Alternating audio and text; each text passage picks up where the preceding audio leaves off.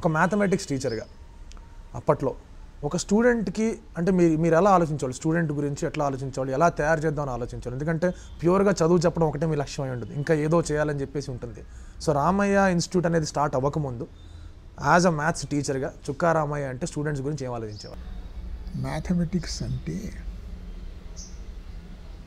Maths అంటే learning నేర్చుకోవడం. Tech అంటే టెక్నాలజీ. జీవిత సమస్యలను సులభంగా పరిష్కరించేదే మ్యాథమెటిక్స్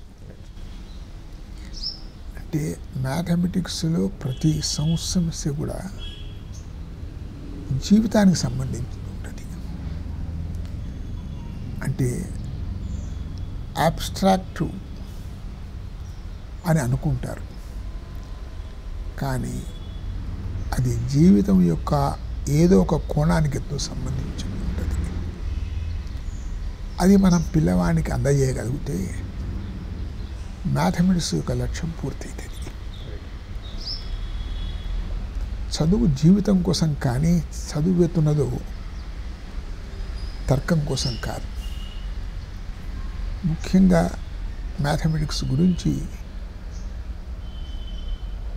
ప్రజల్లో చాలామంది విద్యార్థులు ఉన్న అభిప్రాయం ఉందంటే ఇదొక తర్కమైనటువంటి యొక్క సబ్జెక్టు అనుకుంటారు. తర్కమే అది చర్చలో రావచ్చు కానీ అది జీవితానికి సంబంధించిన విషయం. పిల్లవాడిని చదువు జీవితం కోసం సిద్ధం చేయాలి. అది నా లక్ష్యం. ఒక ప్రాబ్లమ్ సాల్వింగ్ ఏదైతే మనం మాట్లాడుకుంటూ ఉంటాం మ్యాథమెటిక్స్ ద్వారా లైఫ్లో వచ్చే ప్రాబ్లమ్స్ని సాల్వ్ అవుతుంది అని చెప్పేసి మీరు అంటూ వచ్చారు. సో ఇలాంటి ఒక తరుణంలో చూసుకుంటే కనుక స్టూడెంట్స్కి మీరు మ్యాథ్స్ చెప్తున్నప్పుడు ఇలా ఎవరన్నా చెప్తూ వచ్చేవాడు అంటే లైఫ్ సాల్వింగ్ లెసన్గా కూడా మ్యాథమెటిక్స్ని చూస్తూ ఉండాలి అని మీరు చెప్పడం స్టూడెంట్స్ దాన్ని పర్సీవ్ చేసుకోవడం ఆ ఇంటరాక్షన్ ఎలా ఉండేది అప్పట్లో? ఎప్పుడైతే జీవితంతో సంబంధం మనం కలిగిస్తారో అతనికి దాని మీద ఎక్కువ అభిలాష కలుగుతుంది ఉదాహరణకు నేను చక్రవడ్డీ చెప్పాలి. దానికి నేను నా జీవితంలో జరిగినటువంటి సంఘటన చెప్పేది. మాది తెలంగాణలో ఒక పల్లెటూరు. నా ఊరు పేరు గూడూరు. ఆ రోజుల్లో మేము చదువుకునే మేము చదువుకునే రోజుల్లో పట గ్రామాల్లో ఉన్నటువంటి విద్యార్థులు వరంగల్కి వెళ్ళేవారు. వరంగల్ లోపల చాలామంది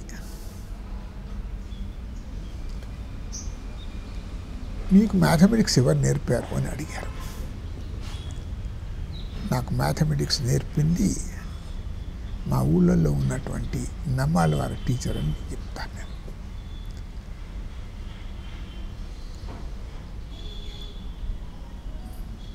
ఆయన ఏ విధంగా చెప్పేదంటే మాకు చక్రవడ్డీ యొక్క ప్రిన్సిపల్ కన్నా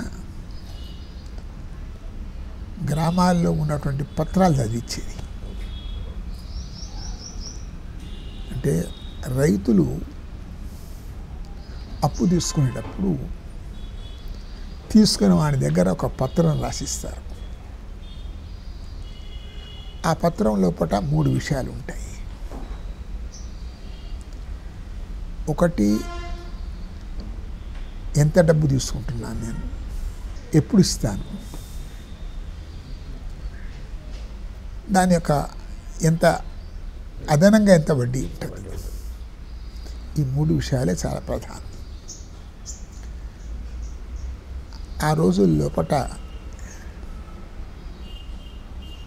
రైతులకు పంట కన్నా ముందు నాటేసినప్పుడు డబ్బు అవసరమవుతుంది వాళ్ళ దగ్గర డబ్బు ఉండదు. ఆ రోజుల్లో బ్యాంకులు లేవు. మా ఊళ్ళో ఉన్నటువంటి అప్పయ్య గారి దగ్గరికి పోయేది. బల్యప్పయ్య అనేది ఆయన పోయి ఇస్తే ఆయన అప్పులు ఇచ్చేది అందరికీ. వెళ్ళంగానే అడిగే ప్రశ్న ఏంటంటే రైతుకు అప్పు ఇచ్చే ముందు ఎంత కావాలని అడుగుతాడు యా నాకు ఐదు ఆరు వందల రూపాయలు కావాలంటాను ఆ రోజులు ఐదు ఆరు వందలు అంటే చాలా ఎక్కువ. ఎప్పుడు ఇస్తావు అంటాడు. పట్ట మీద ఇస్తానంటాడు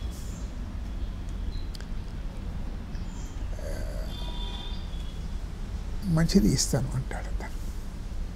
పత్రం రాసి అంటాడు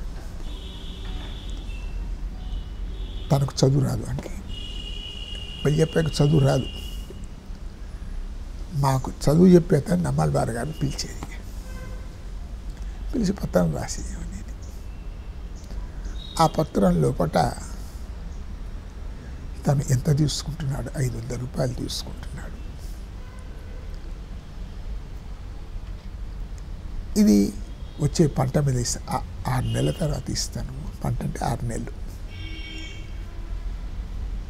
దీనికి ఒక కాగితం రాసి ఇవ్వాలి వడ్డీ నిర్ణయించే అధికారం ఇచ్చేవాడిని. నెల ఒక్కంటికి వందకు ఒక రూపాయి చొప్పున ఐదు వందల రూపాయలు మీ దగ్గర అప్పు తీసుకుంటున్నాను. నేను ఆరు నెలల తర్వాత ఇస్తాను అని రాసిస్తాడు. అంటే ఆనాడు బ్యాంకు నుంచి కాదు. రైతు ఆ బల్యప్పయ్య దగ్గర తీసుకోవడం. ఈ పత్రాలతో మా మాకు మాతో చదివించేది అంటే ఈ ట్రాన్సాక్షన్స్ మేము చదివేది. జనరల్గా తీసుకునే టైంకే ఇస్తారు. కానీ పంట నష్టమైన ఊహించనటువంటి ఏదన్నా ప్రమాదం వచ్చినా అతను చెల్లించలేడు. ఆ ఆరు నెలల తర్వాత తిరిగి ఇవ్వకుంటే అతనికి బలిజప్పేకు ఆవేదన మొదలవుతుంది ఏం రాలేదేంటి ఒక రెండు రోజులు చూసి తనే వెళ్తాడు వాళ్ళ ఇంటికి. వెళ్తే వరకు భార్య అవుతుందో పలానా పిల్ల మీ వారే అని అడుగుతారు. లేడు అని చెప్తారు.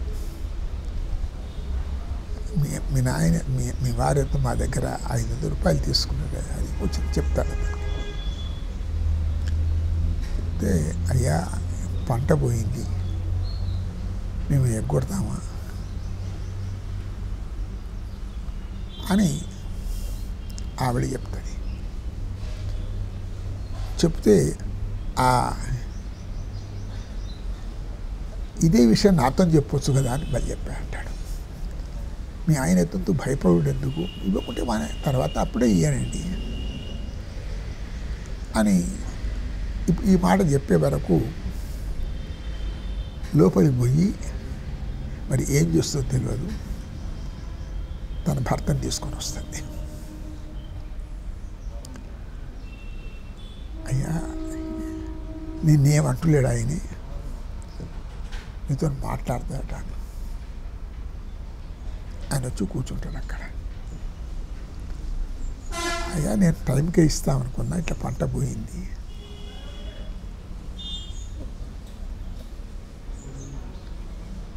అంటే మరి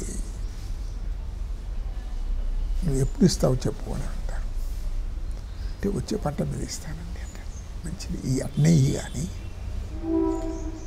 ఇవన్నీ రాతపూర్వకంగా ఉండాలి కదా అని అంటాడు. దగ్గర ఎన్ని ఎన్ని రూపాయలు తీసుకున్నావు అని అడుగుతాడు.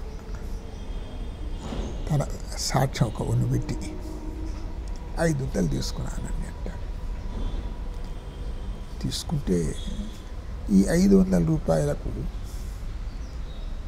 నువ్వు తీసుకుంటే ఆరు నెలలు అయింది కదా. ఒక్కొక్క నెలకి ఎంత ఎంత వడ్డీ అవుతుంది నువ్వు చెప్పుకుంటాడు నాకేం లెక్క వస్తుంది అంటే అంటే ఆరు నెలలకు వంద రూపాయలకు ఒక రూపాయి కదా ఐదు వందలు తీసుకున్నావు. ఐదు రూపాయలు వడ్డీ. ఆరు నెలలు అయింది కదా ముప్పై రూపాయలు.